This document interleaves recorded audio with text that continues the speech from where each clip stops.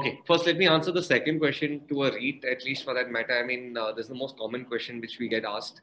Uh, and, you know, we put a separate FAQ on our platform itself so that people get a complete understanding of it. But let me go to exact numbers today uh, as such, right? Let me take the three REITs which are available. Brookfield is, uh, is still not listed, but uh, let's take Mindspace and uh, and Embassy. Embassy is a far better example because it's already a year and year and a half old as a matured uh, REIT as such. Now, in the West, all the REITs for that matter, the best performing REIT on an average does not grow more than 4 to 5% year on year.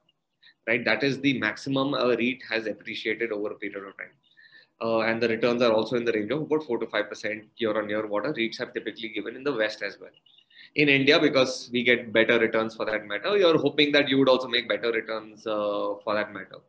Uh, an embassy REIT listed at about 300, 320 levels, went up to 518 levels and is back at 353 levels. Now, if investors looking at investing in a REIT from a real estate investment standpoint, he clearly is not in for this kind of a volatility as a matter of fact.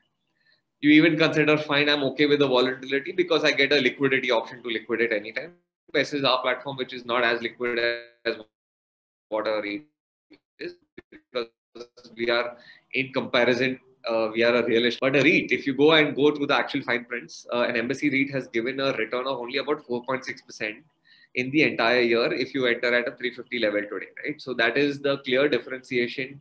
Uh, what is there? Is all our properties today on our platform give upwards of 8, 8.5% kind of a return, right? So you're talking about investing into a property, knowing the tenant, knowing the micro market, and a clear, tangible product versus the product where you have no control over what's happening whether the returns, I mean, is it going to be regular enough for that matter for you? It's not compulsory for them also to do because they can always keep reaping that money into other projects at the same time.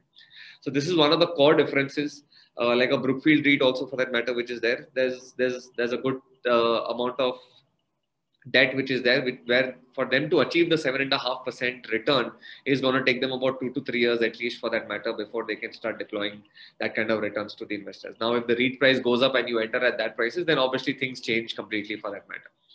Now, I gave you an example of the amount of money which gets poured into residential real estate uh, for that matter.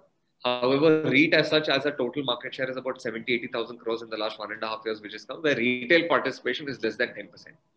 So clearly, you know, as much as you might want to buy all the REIT shares for that matter, clearly there is a big opportunity and there are multiple investors who are still investing and directly owning real estate or coming to platforms like us and trying to buy properties and start owning and start making passive returns and make long-term capital value appreciation as well. So again, like I said, the market is just too big for you to, to look at uh, not participating into such platforms or such opportunities and start owning it. Coming to the regulation and just to just to add here i think you know to me uh, again you know the ability to have returns directly linked to particular asset which you have complete visibility and and uh, lens into i think the differentiator. The market will function differently. There will be volatility. There will and there are advantages of the market. No one's taking it away. I think each investor should look at them as separate instruments. They may be both linked to the same underlying asset of real estate but the returns um, and the liquidity etc will function differently and an investor must definitely keep that in mind. Correct, absolutely. I mean, uh, like especially if I take US as an example, right? I mean, US REIT market is, I think, upwards of about 40, 50 years as such, and is is trillions of dollars in a market. Still, platforms like us, there's a platform like Cadre, C-A-D-R-E.com, uh, which is only about five and a half years old and manages about three and a half billion dollars in AUM, right? So if REIT was so good as a product itself, why do platforms like ours are still doing so well?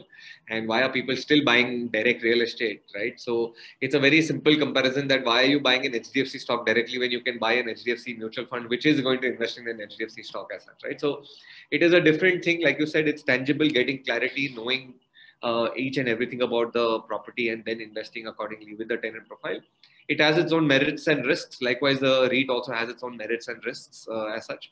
Clearly, a great product, and what we're doing is is effectively just a replacement to you directly investing into a property. Right? There's no other difference as such uh, from a market opportunity standpoint.